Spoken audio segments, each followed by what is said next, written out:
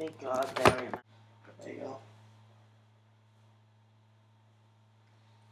Because someone fucking let him run right in front of A, and you sitting in front of A. That's a stupid